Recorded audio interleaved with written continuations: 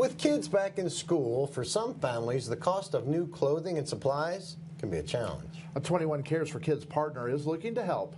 The Assistance League of Bend is in the middle of its annual Operation School Bell campaign. As it does every year, volunteers will give clothing to more than 2,000 students this month. The Back to School Shopping campaign takes place at the Walmarts in Redmond and Bend. Yeah, great program there. We've, sure. we've been associated with uh, Assistance League of Bend for a long time. It's a great, great program.